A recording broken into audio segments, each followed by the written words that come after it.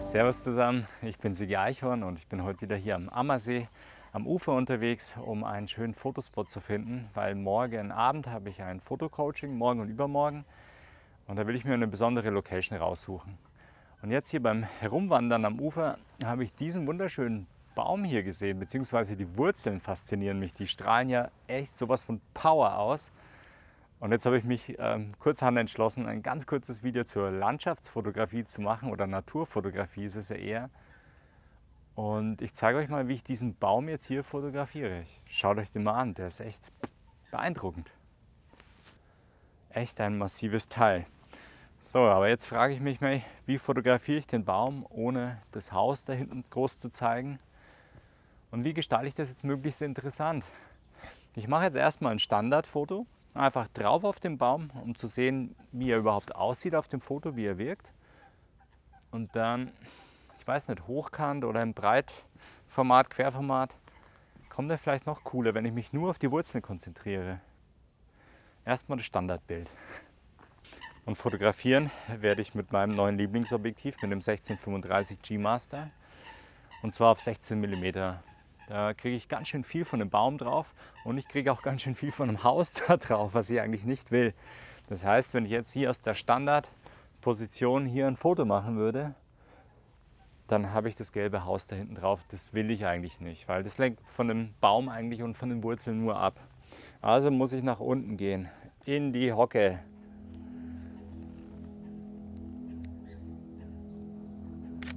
Aber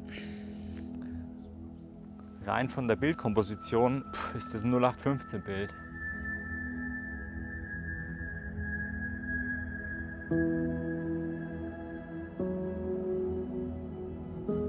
Jetzt versuche ich mal irgendwie eine schöne Komposition zu finden. Ich meine, ich kann hier mit dem, mit dem Stamm spielen, der ja nach oben so V-förmig hinausläuft, dass ich vielleicht dieses V oben in die Ecken platziere und von weiter unten fotografiere, hier quasi aus der bodennahen Position. Oh, das schaut schon viel mächtiger aus. Da der Baum richtig bums. Bam, geil. So mache ich's. Ich werde den Baum von unten nach oben fotografieren. Das ist dann kein Standardbild, macht es echt interessant. Und so gehe ich es jetzt mal an. Ja, das schaut hier schon nach was aus. Wenn ich jetzt wirklich weitwinklig hier bin und möglichst tief am Stamm, am Stamm bin, vielleicht hier sogar auf der Wurzel direkt drauf, dann schaut es schon ganz gut aus. So, und jetzt habe ich hier wieder das Thema mit dem Fokussieren. Wenn ich das jetzt die Kamera alleine machen lasse, dann springt die Kamera vom Fokuspunkt da nach da, hoch zum Stamm. Und da suche ich mir jetzt mal mein Fokusfeld hier im Menü aus. Und zwar werde ich hier in, den, in das manuelle Fokusfeld gehen. Also Flexible Spot manuell ist es dann. Und dann kann ich mit Hilfe meines Joysticks den Fokuspunkt hier hinsetzen, wo ich will. Und da ich ja nach vorne gucke, möchte ich nicht den Bereich hier scharf stellen, sondern gehe einfach hier auf die Mitte vom Stamm.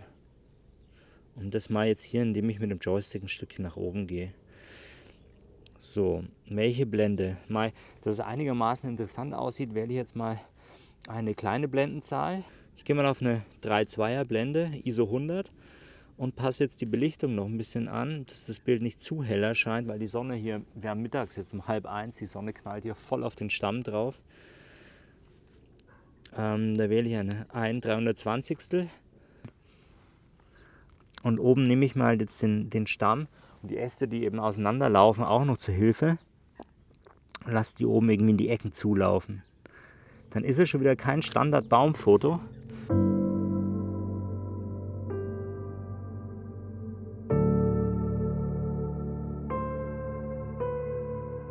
Und das Ganze probieren wir jetzt bei denselben Einstellungen mal im Hochkantformat. Ah, da kommt man jetzt nicht ran. Ich kann mich jetzt hier nicht da unten reinlegen.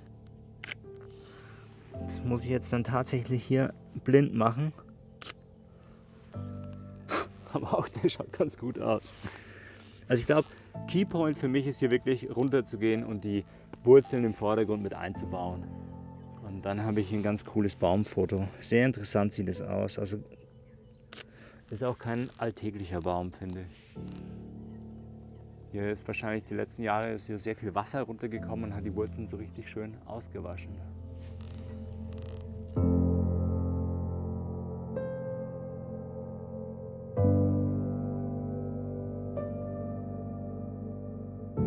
Ah, wow. Das sieht schon wieder echt beeindruckend aus. Geil. Hier in der Waage bleiben ist echt nicht so easy. Ah. Bam. Cool. Mal kurz einen Check hier im Display. Im äh, Querformat gefällt mir fast noch besser als im Hochformat. Aber er ist gut eingefangen und bin ich relativ happy mit dem Teil.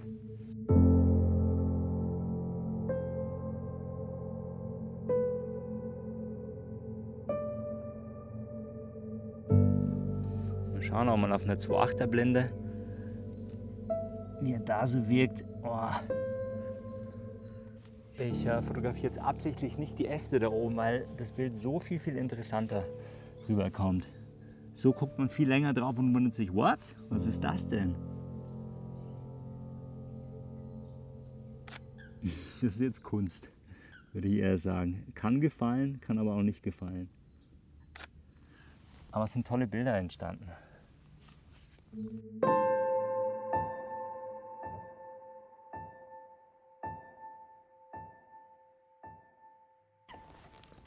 So Leute, jetzt ist dieses Video mehr oder weniger sehr spontan entstanden, weil ich hier einfach an diesem Baum vorbeigelaufen bin.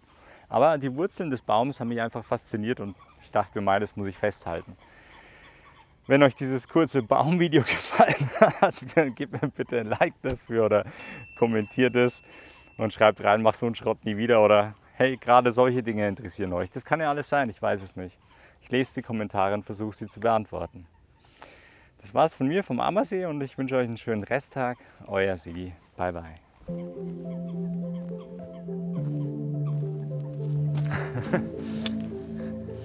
Die Wurzel sieht auch mal ganz cool aus. Nicht schlecht. Hab ich gar nicht gesehen bis jetzt.